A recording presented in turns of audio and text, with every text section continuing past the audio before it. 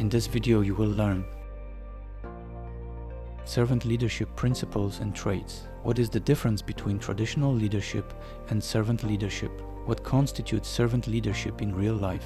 How to be a servant-first leader? Robert K. Greenleaf originated the phrase servant leader in his 1970 article The Servant as Leader. Servant leadership is a style of leadership founded on the premise that leaders put the greater good first. Leaders with this approach prioritize their team and organization. They do not prioritize their own goals. Employees who work in a servant leadership setting are more likely to feel heard. This increases their likelihood of working to the utmost of their skills by 4.6 times. As a result, workers may learn and develop while also contributing their own knowledge and vision. Instead of employing control and sometimes toxic leadership approaches, this is based on increasing influence and authority. Employees are empowered under servant leadership.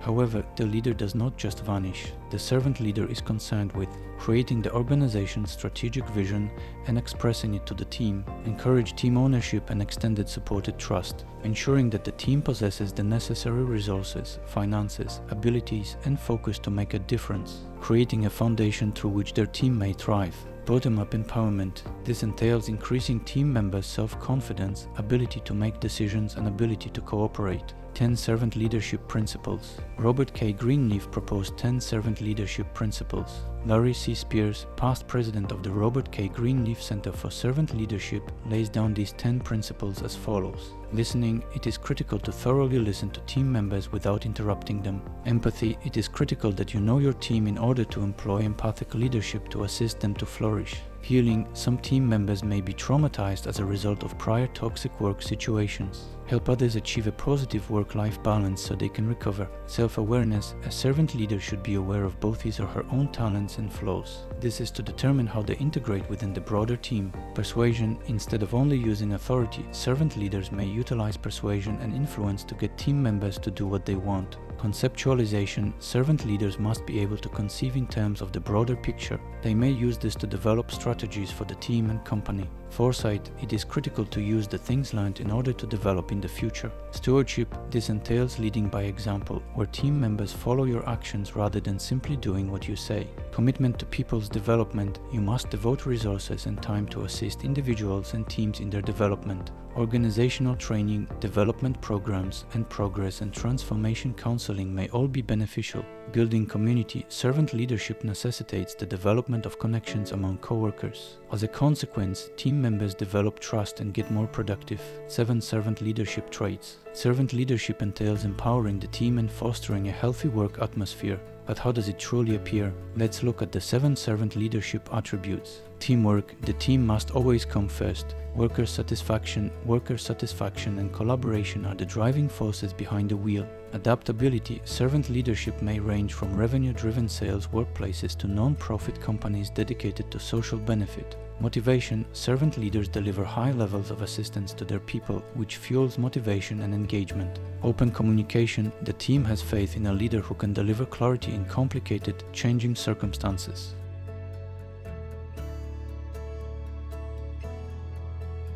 Leadership must value sincerity. Accountability, ownership inspires dedication and purpose. Employees strive toward personal objectives and accept responsibility for the outcomes. If you like this content, please like and subscribe. On my website, projectmanageriq.com, you can get the free templates for your project management needs as well as training based on my 544 page book Project Management for Managers, Program and Project Portfolio Management in Banking. Please see the details below in the description. Traditional leadership versus servant leadership. Servant first leadership is the polar opposite of conventional leadership. Traditional leadership is described as a leadership approach in which the leader is seen as the focal point of the team. Workers are there to help the boss achieve corporate objectives. On the other hand, servant leadership prioritizes the needs of others. The more time and effort you spend in functioning as a support for your staff, the more productive they will be according to this leadership concept. A servant leader is more inclusive. He, she must cultivate an inclusive culture among their team members. Inclusive teams enable everyone to develop a feeling of belonging. This provides them with an opportunity to flourish. A servant leader puts more focus on their team than the customer. They prioritize the needs of their teams, but this does not imply that consumers are ignored. Servant leaders are concerned with the team's progress and well-being. As a result, they may develop competent professionals who can provide superior service to clients. They place more focus on ethics. This leadership style has ethical consequences that regular leadership does not have. Servant leaders that act unethically may generate problems for their teams, such as decreasing motivation and development. What constitutes servant leadership in real life? A genuine desire to help others is a quality of successful servant leaders. Additionally, they make decisions with clarity, effectiveness, and charisma. Here are a few real-world instances of servant leadership, setting an example, being humble, authentic, and trustworthy. Your leadership must be built on a foundation of humility. Your subordinates will obey you if you talk with arrogance and dominance out of fear. Instead, you should provide a trustworthy and authentic example with your words and deeds, demonstrating the importance of the work, purpose, and awareness. Each component of a clock mechanism is critical. The same is true for every team. Every member of the team is critical to the team's success. Making certain that this message reaches workers might boost their motivation. It may also improve their performance. One method to do this is to express clearly the downstream effect of their effort. You can demonstrate the effect both within and outside the firm. Talk about the individual or persons who will utilize and expand on what they have done rather than the figures and measurements. Always connect their particular accomplishments to the larger company objectives. This encourages a stronger connection to the company's objective. Most crucial, acknowledge their excellent work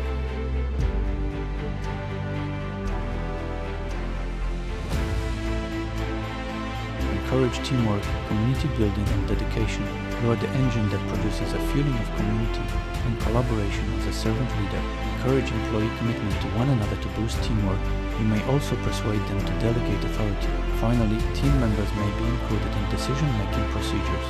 For example, inquire about what they would want to perform on the new project, or you can ask how they believe they can bring value to their job.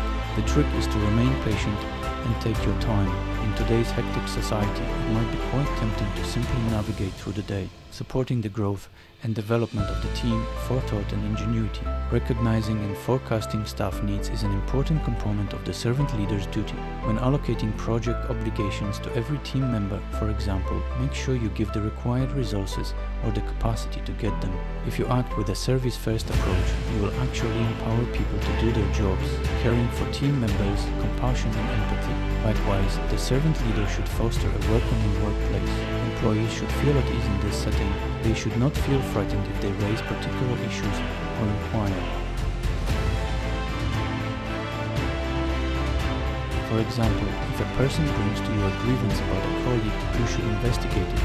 You take a moment to assist them in working through the dispute and eventually resolving it. You're sympathetic, requesting feedback, listening abilities, encouraging adequate degree of interaction with the workers that encourages active and careful listening. A servant leader routinely asks questions freely and follows it up not simply when something is wrong. They listen to input rather than simply giving it. How to be a servant-first leader.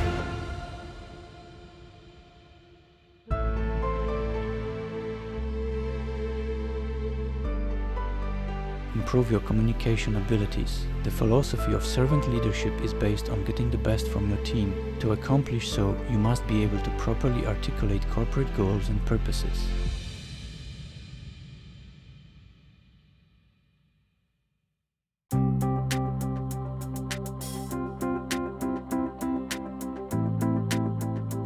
Communication isn't just about what you say. This leadership style is based on listening to your team members' perspectives. To really comprehend their decision-making process, practice active listening, be more empathic.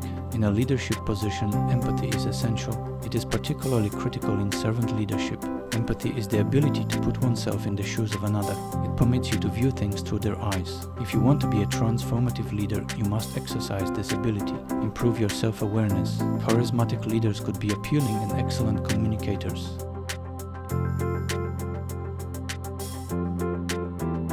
Increasing your self-awareness entails paying attention to how you behave and what you say, as well as the influence it has on people around you.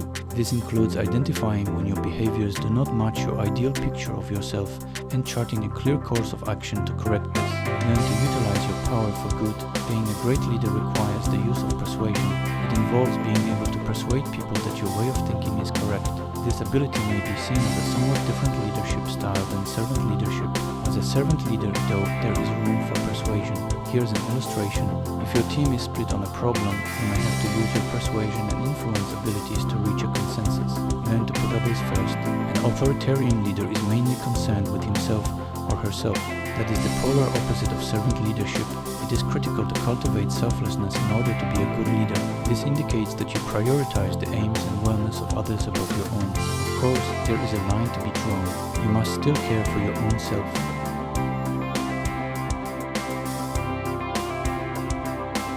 This will promote employee engagement, which has been shown to raise the performance of employees by up to 73%. Remember the organization's objectives.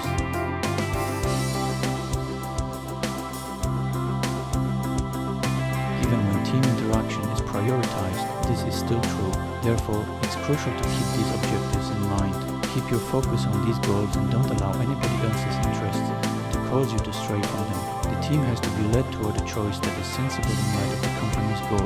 Learn how to holistically grow people. The conventional definition of management is getting work done through people, but real management is developing people through work.